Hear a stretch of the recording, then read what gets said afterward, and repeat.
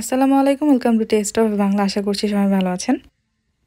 ওজন কমানোর জন্য আজকে মাত্র দশ মিনিটে তৈরি করা যায়। এরকম একটা রেসিপি তৈরি করে দেখাচ্ছি। খুবই হেলদি একটা রেসিপি আশা করছি রেসিপিটা আপনাদের ভালো লাগবে।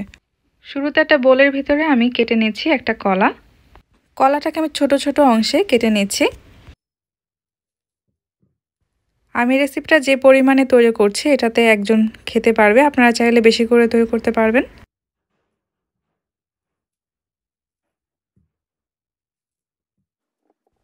তো কলা কাটা হয়ে গেছে এবারের ভিতর আমি টক দই মিশাবো।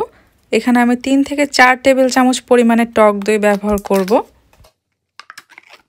এই টক দইটা একদমই ঘন টক দই। খুবই সুন্দর জমাট বাঁধা। চেষ্টা করবেন ভালো ব্র্যান্ডের টক দই ব্যবহার করতে। তাহলে কিন্তু টেস্টটা অনেক ভালো আসবে।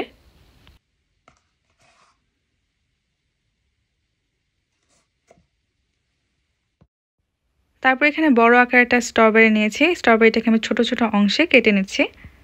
আপনারা চাইলে এখানে অন্য যে কোনো ফল ব্যবহার করতে পারবেন। আপেল অথবা আঙ্গুরও ব্যবহার করা যাবে।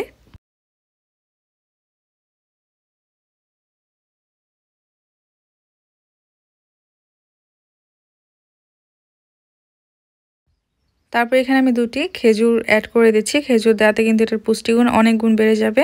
আর খেতেও কিন্তু খুবই ভালো লাগবে। এগুলোকে আমি ছোট ছোট অংশে কেটে নিচ্ছি।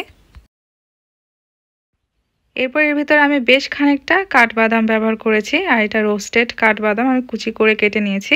রোস্টেডটা দিলে টেস্টটা খুব ভালো লাগে, আপনারা চাইলে কাঁচা বাদামও দিতে পারবেন। এমনিতেই ফলগুলো মিষ্টি, তবে এর ভিতরে আমি আরেকটু মিষ্টি অ্যাড করব, তার জন্য এর ভিতরে আমি মধু দিয়ে দিচ্ছি। এক থেকে দু টেবিল চামচ পরিমাণে ব্যবহার করতে পারেন। এক টেবিল চামচ দিলেই খুব ভালো মিষ্টি হবে।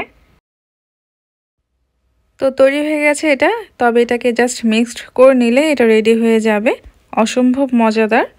খাওয়ার আগে জাস্ট এটাকে একটু মিশিয়ে নিলেই হবে।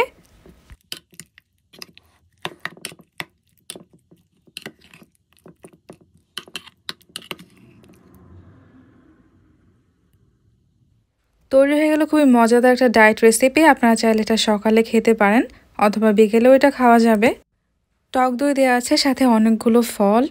বাদাম, তারপরে খেজুর দেওয়া আছে, তাই অনেক পুষ্টিগুণ সম্পন্ন একটা রেসিপি আপনারা চাইলে অন্য যে কোনো ফল অ্যাড করে এটা তৈরি করতে পারেন। আশা করছি রেসিপিটা আপনাদের ভালো লেগেছে। আগামীতে আরও অনেক রেসিপি দেখার আমন্ত্রণ জেনে বিদায় নিচ্ছি। আল্লাহ হাফেজ।